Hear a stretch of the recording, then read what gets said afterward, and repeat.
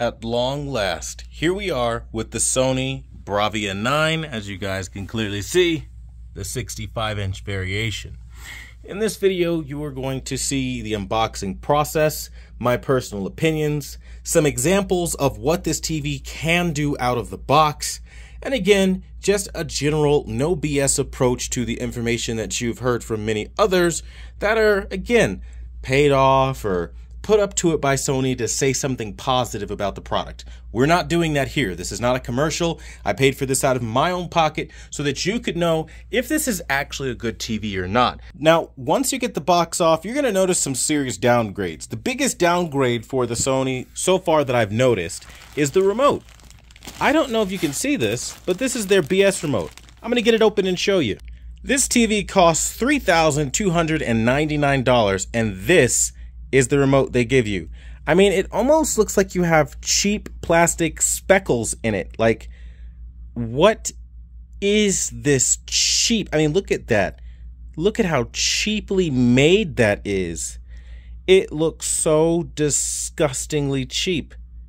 Like, the cheapest grade plastic I have ever seen or held in my hand.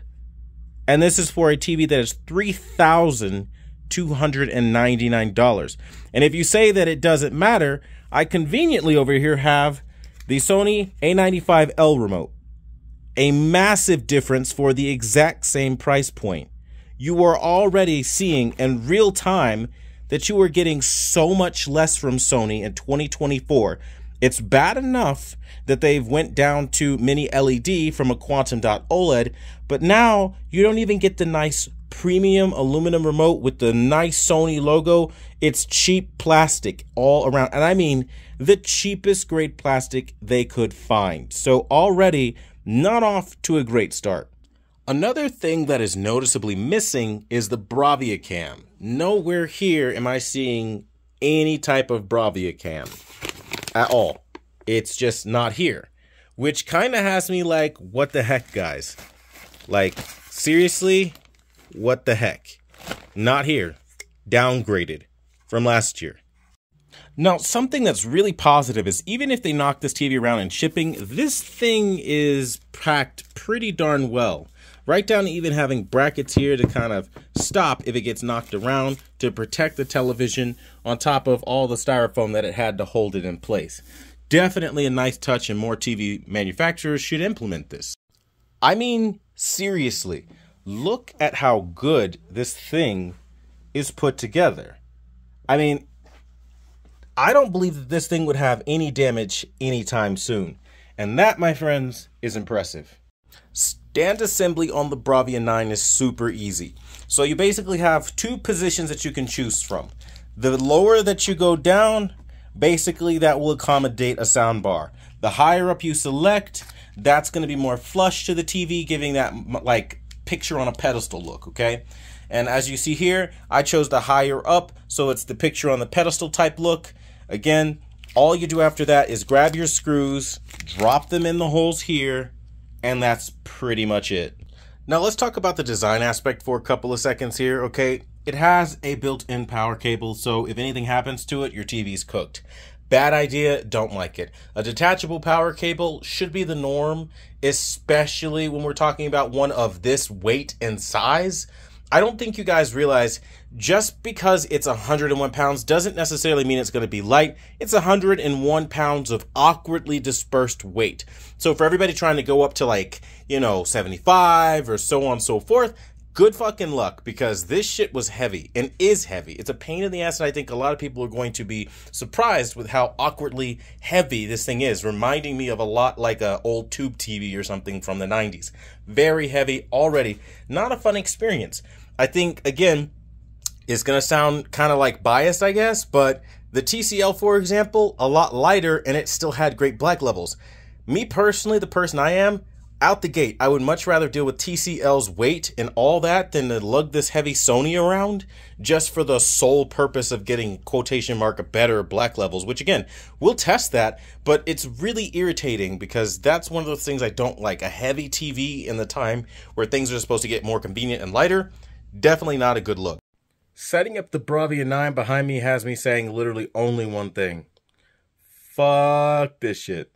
This thing, this little beast of a fucking TV is heavy as hell. I'm tired of this already. I mean, it's already up, but damn. Man, this is the kind of TV you put on a damn media console and call it a day. And if you think you're wall mounting this, fuck that shit for real. like, there's no fucking way. There's no fucking way. I would hire people to do this shit. You will throw out your damn back if you are doing it by yourself. If you don't have help, I promise you the Bravia 9 will be, will be one of the hardest TVs you've ever wall mounted in your entire life. Again, another negative that a lot of reviewers just aren't talking about.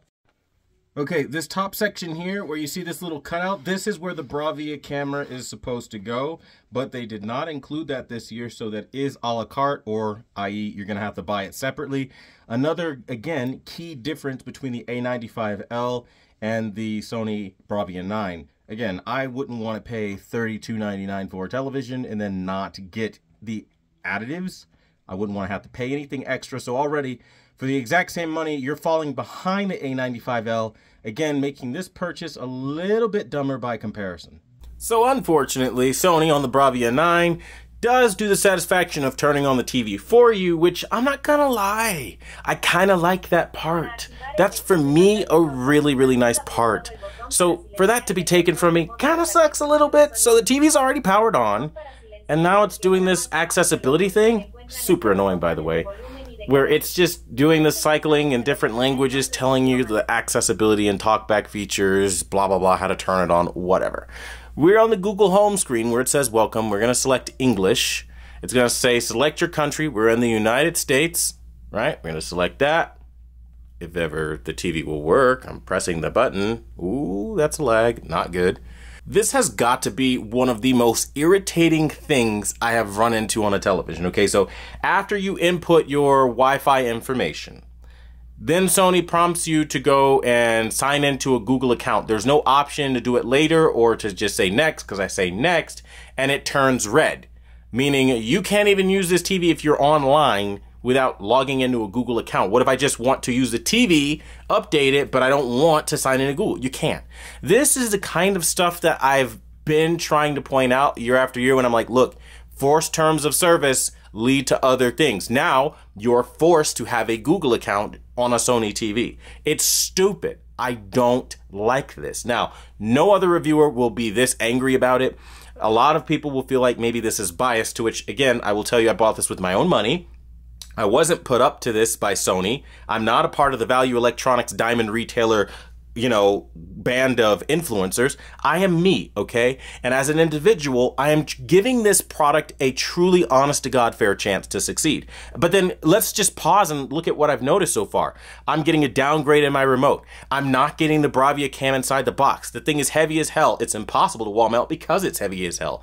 And then, if that's not bad enough, when I turn on the TV, oh, by the way, I couldn't even turn on the TV. The TV turns itself on, robbing me of that experience after I do all this fucking hard work. And now I'm met with this screen that's forcing me, I don't even have a choice in the matter, forcing me to sign into my personal Google account if I want to use this TV and I want to do whatever because they don't give you respect and I, I, really have a problem with disrespect, okay?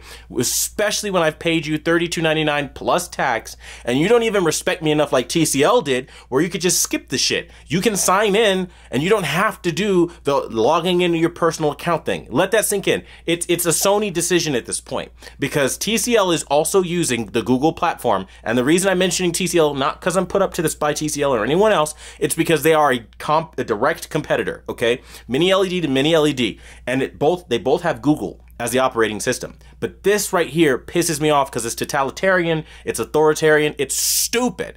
I, I'm sorry to rant, but this kind of shit really bugs me because no one in these damn reviews will mention this shit. They will tell you how amazing it is, and they won't tell you that you're forced to do certain things that you don't want to do. So, yeah, that really bugs me. I don't like it, but let's continue on. I cannot stress how annoying this TV is after you're forced to sign into your personal account, they will then show on like every slide after that your personal email address. Which, if you're a YouTuber, you either have to blur out the text on screen or just not show it like I'm doing here. Really irritating that that's how this fucking TV works. That like once they have your email, they're just gonna start spam fucking it on the screen. Like, What if it's something sensitive where I just wanted to put it in once and I don't really want everybody in the room to see my email? It's a breach of security, privacy, in my personal view, because again, just because I'm putting in my email address because I have to for the TV, eh, what if somebody walks in that you don't want to see that information? They don't think about that kind of stuff. I think in their heads, they're just trying to make it seamless and easy, but it's not. And I don't like stuff like that. Now, here we are again with the bullshit Google crap. Allow to search across apps. Yeah, sure, we can search across apps. You put me through all this shit, might as fucking well, right? I can't stress how annoyed I am already. And that's not a good thing considering I just unboxed it with an open mind. Just which some people might not believe me, and I don't give a fuck what people think, right? But this process has been so painstakingly annoying that like honestly I'm just like disenchanted. Now this might not bother most people, but for me, again, I don't like that kind of thing. I don't like being strong armed or forced into taking a direction I normally would not have taken if not influenced or strong armed into that direction. Now they tell you to start your Bravia experience, yada yada, and then you just do all this crap here. Oh, this is just it's just so annoying. You have to agree to proceed. That's just the name of the game with a Sony TV. And this is kind of like my problem with Sony TVs, right? There's no user freedom. You have to agree to all or agree and proceed. And it's just like, dude, like you guys suck. Like I don't want to share my data. I don't want to agree to any of this crap. I, I don't. And it's just all you can do is just agree to proceed. And I don't want to do that. I just don't.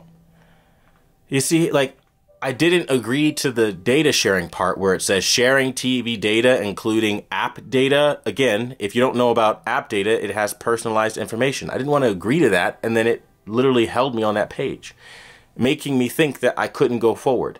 But if you notice, you can go forward past that point. It's just they're giving you a hard time for whatever reason. Because again, I don't agree to that. I say agree and proceed. It's irritating. I, I can't stress it. Like, I'm really annoyed, if you can tell, right? Because it's basically like them strong arming you. And I, I can't stress how much I don't appreciate that. Now I'm going to turn off power saving and try to redeem the rest of this unboxing. But so far, man, I'm just I shouldn't be this irritated, right? It should just be convenient and fun, and you should enjoy setting up your purchase, but you can't. And I think that's one of those things that really just bug the everlasting crap out of me, but maybe that's just a me thing. So I'm going through all these other little prompts. Um, it's it is tabletopped. If you've wall mounted your Bravia 9, by the way, let me know in the comments down below how fun that was because I'll tell you right now, just tabletopping this was a bitch. I could not imagine lifting and hoisting this heavy fucker up and putting it on the wall. Like, no fucking way. There's no way. I don't want to lift 101 pounds of awkward weight where you can't even touch the entire screen because you'll fuck up your TV and then hanging that on the wall. Like, no. Like, literally no. Like, no way. But again, I will digress from that point and move forward. Now let's go ahead and set up the optimize for your sound and I'll just do it, you know, only this one time because I don't need them always listening to my shit because, you know, fuck Google, you know, like, I mean, really. Man, what an annoying process. I truly hope this ends up being a good review process because, I mean, really, man, like, this is so irritating. Okay, let's go. Let's go. No, then an error has occurred. What are you talking about? Oh my god, bro. Like I am What is it about this? An error has occurred. Measurements canceled. Please try again. Bro, what the fuck? Literally what the fuck? Go back and do it again. Ugh. Right? And, and notice how it says nothing about you need to be quiet or anything like that. So if it's because I was talking during the review, that's fucked up because it's not even saying anything like that. Oh. This is stupid.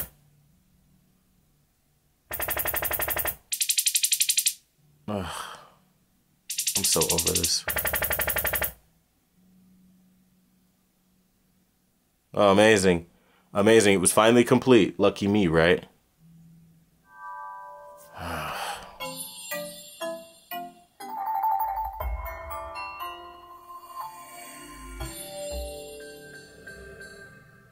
Okay. adjust. Uh, I don't care about how to adjust the tweeter beam. I really don't. Do I'm not going to register using my Google account. Fuck off. I don't care. I'll register later. Fuck off. Enhance your TV's coverage with Sony's protection plan and extended warranty. I mean, Jesus, it's like now they found ways to push even more shit to you on your TV. As if we needed that. Honestly, man. This better be like the best fucking mini LED TV I've ever seen. Because honestly, dude, already I'm like, I'm showing up annoyed after opening the damn box. Uh, I don't care about Bravia Connect. If you do, you can go ahead and do this step. I'm going to skip it. I'm going to set up for retail so I can access the store demo. And I'm going to say, yes, use the retail. And yes, start the demo now and finish the setup.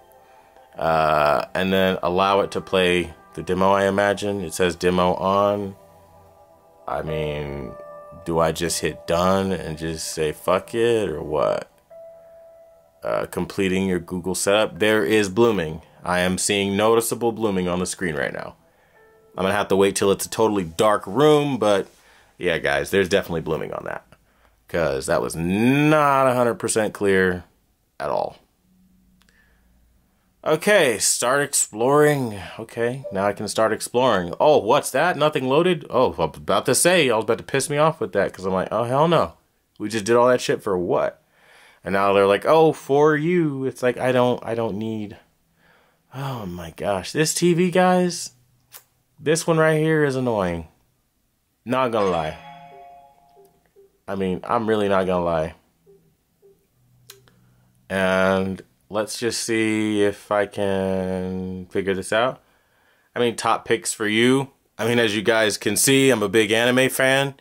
I mean, but see, this is the thing that annoys me, right? They do all this like top picks for you thing and they're customizing your homepage and all that. Yeah, whatever. Okay, cool, fine. But the problem with like for me is like I don't really need my preferences showcased all over the main home screen. Like I, I just I'm not like that. Some people might really want that, but that's annoying for me. Like I know what I like. I don't need you to go throw it in my face like I'm some dumb dumb that doesn't know how to go and find what he wants yes, I guess this makes it convenient for lazy people if you want to see certain things, but it's just annoying for me personally. So I'm going to try to get the demo on the screen and figure out like what the fuck if I can. I feel like all I should have to do is go into this demo app and that should do the trick. If it doesn't, then I'm going to have to figure out what to do from there. Um, and let's just say start the, the content. Right? All right, that worked. Perfect. Brilliant. Yes? Worked? Great. Okay. Now we can get an idea of what the picture quality looks like. Okay, so far, as I look at it, it's bright. I'm not really noticing sharpness in spades. I'm just not. Especially on that ice cube, that was kind of blurry. Maybe once they get to the geometric patterns, nope, it still looks kind of like meh. I, again, I'm not seeing like extreme sharpness. I'm not saying the TV doesn't have it, but in this example, I'm just not seeing that. Now, I am sitting closer to the TV, so maybe that will have something to do with it.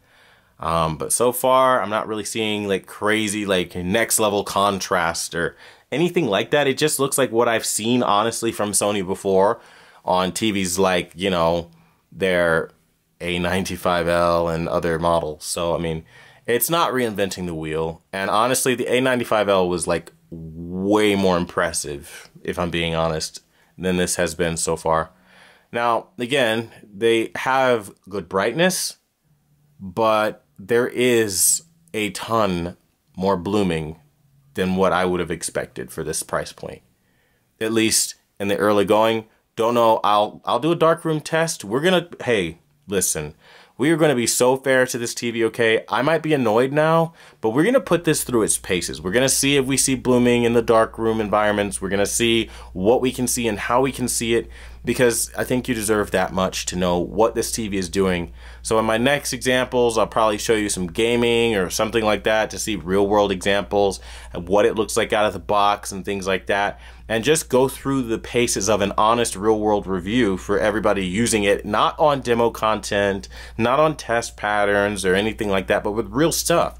If you want to see that and you want an honest, unbiased, not brought to you by Sony commercial type deal, well, you're in the right place. Subscribe, join the journey. And as always, if you end up with this TV, make sure you join the membership for $4.99 because I will, and that's $4.99 by the way.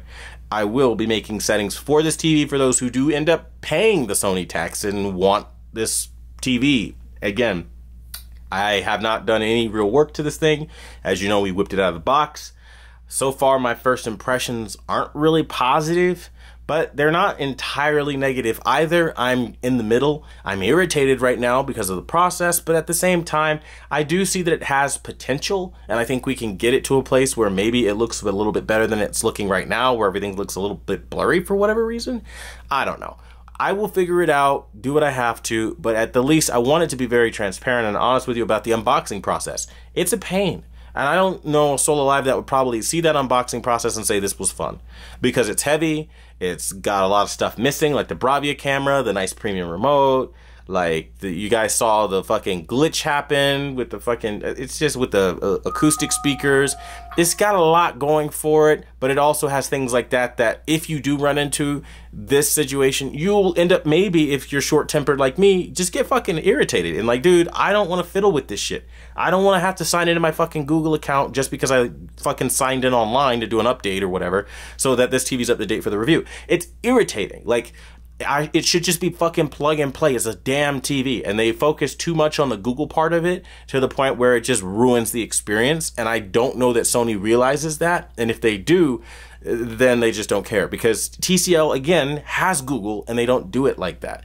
So it is a bit irritating to see a premium brand, the so-called top of the top of the top with mini LED, not doing it right by the customer. And again, for me, that's why I'm irritated right now. Again, hopefully they show me something to redeem their standing with me right now personally as the reviewer now, again, you as the consumer or as another reviewer watching this doesn't matter.